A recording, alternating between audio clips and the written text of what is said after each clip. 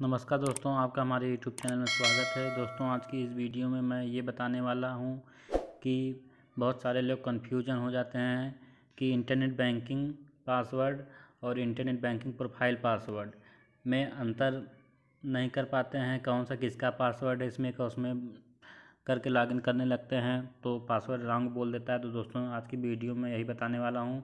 अगर आपका account SBI में है, स्टेट बैंक ऑफ़ इंडिया में, और आप योनो में रजिस्टर किए हुए हैं तो उसी के बारे में आज मैं बताने वाला हूँ कन्फ्यूज़न दूर करने के लिए। दोस्तों तो सबसे पहले हम यहाँ से अपना लॉगिन कर लेते हैं। देखते हैं दोस्तों, देखे होंगे यहाँ एक एम पिन आता है, एक यूज़र आईडी आता है।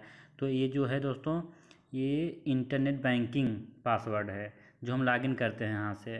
ये इंटरनेट बैंकिंग पासवर्ड है। और दोस्तों, दूसरी बात, जैसे यहाँ से हम अपना यूज़र नेम और पासवर्ड डाल डाल करके लॉगिन करते हैं। अच्छा तो दोस्तों, यहाँ से अपना लॉगिन करते हैं। दोस्तों, ये जो है इंटरनेट बैंकिंग का पासवर्ड है। इसी को इंटरनेट बैंकिंग बोलते हैं। इंटरनेट बैंकिंग पासवर्ड या नेट बैंकिंग पासवर्ड। और यहाँ जो इसको लॉगिन करते हैं। तो दोस्तों, यहाँ से हम लॉगिन तो कर लेते हैं ये इंटरनेट बैंकिंग के माध्यम से। जो इसके अंदर जो है कि अगर हमें ट्रांजेक्शन करना हो जाता है या कुछ ईमेल आईडी अपडेट करना पड़ जाता है या कुछ चेंजिंग करना पड़ जाता है, एटीएम कार्ड अप्लाई करना पड़ जाता है तो जो है कि हमें प्रोफ़ाइल पासवर्ड की ज़रूरत पड़ती है या पासवर्ड चेंज करना पड़ जाता है तो प्रोफ़ाइल पासवर्ड की ज़रूरत पड़ती है। तो देखिए, प्रोफ़ाइल पासवर्ड की ज़रूरत कहाँ पड़ती है? अगर आप यहाँ से जाएँगे सेटिंग में और यहाँ से देखेंगे इंटरनेट बैंकिंग पासवर्ड और रिसेट प्रोफ़ाइल पासवर्ड यहाँ पे आ रहा है। जैसे कि अगर हमें, यहाँ से मान लीजिएगा अभी अभी हम बैक आ जाते हैं।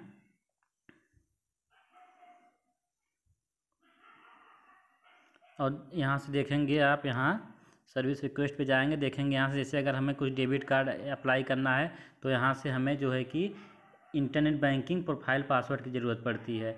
यहाँ से जो है कि हम अपना प्रोफ़ाइल पासवर्ड चलिए यहाँ से यहाँ से हम ना डाल चुके हैं प्रोफ़ाइल पासवर्ड यहाँ से हम अभी सबमिट करते हैं लॉगिन करते हैं। तो दोस्तों देख सकते हैं यहाँ पर जो कि वहाँ पर हम अलग पासवर्ड डाले हैं और यहाँ पे अलग। तो दोस्तों यहाँ से अगर हमें कुछ अप्लाई करना पड़ता है या कुछ चेंजिंग करना पड़ता है तो प्रोफ़ाइल पासवर्ड की ज़रूरत पड़ती है। यहाँ से भी हम बैक आ जाते हैं या फिर कुछ से पासवर्ड चेंज करना पड़ता है तब पर भी प्रोफ़ाइल पासवर्ड की ज़रूरत पड़ती है। आप देख सकते हैं यहाँ पर जैसे कि यहाँ पर हम इसको क्लिक करेंगे तब देख सकते हैं ऊपर इंटरनेट बैंकिंग प्रोफ़ाइल पासवर्ड यहाँ डालने के लिए आ रहा है, जो कि हमें ये सिर्फ़ हम प्रोफ़ाइल पासवर्ड से जैसे अगर हम ट्रांजेक्शन करते हैं नेट बैंकिंग के माध्यम से तो जो हमें लास्ट स्टेज जो रहता है वहाँ पर प्रोफ़ाइल पासवर्ड की ज़रूरत पड़ती है तो हम वहाँ से पेमेंट कर सकते हैं किसी को। दोस्तों, ये सबसे आसान तरीका था समझने का और आपको हम दिखा देते हैं। यहाँ क्रोम ब्राउज़र में ओपन कर कर, करके आपको यहाँ से, जैसे अगर आप यहाँ से खोलते हैं एस बी आई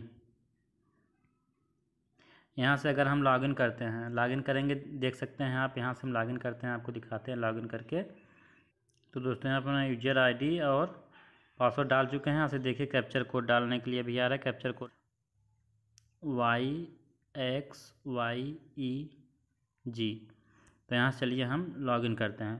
तो दोस्तों, यहाँ से आप देख सकते हैं, एक वन टाइम पासवर्ड आता है मोबाइल पर ओ टी पी इसको लेकर के हम भी फिल कर देते हैं यहाँ पे। तो दोस्तों, यहाँ से हम ओ टी पी डाल चुके हैं, यहाँ से, है, यहाँ से सबमिट करते हैं। तो देख सकते हैं यहाँ से जो है कि हम सिर्फ़ लॉगिन कर सकते हैं। अगर हमें कुछ पेमेंट करना है तो पेमेंट करने के लिए प्रोफ़ाइल पासवर्ड की ज़रूरत पड़ती है। दोस्तों, अगर आपको वीडियो समझ में आया हो, अच्छी लगी है तो वीडियो को लाइक ज़रूर करें और चैनल को सब्सक्राइब ज़रूर करें। दोस्तों, यही सबसे सिंपल तरीका था समझने का और जो है कि आप यहाँ से आपको मैंने बता दिया सीधे सीधे कि अगर आप को यही इंटरनेट बैंकिंग को ही बहुत लोग लॉगिन पासवर्ड ही बोलते हैं। जो कि वही दो, दोनों सेम ही लॉगिन पासवर्ड और इंटरनेट इंटरनेट बैंकिंग पासवर्ड यहाँ से आप डालते हैं, जो है कि ये इंटरनेट बैंकिंग पासवर्ड है और जो आप लॉगिन करने के बाद जो कुछ चेंज करते हैं या कोई, कुछ अप्लाई करते हैं एटीएम कार्ड के लिए तो वहाँ पर फ़ाइल पासवर्ड की ज़रूरत पड़ती है।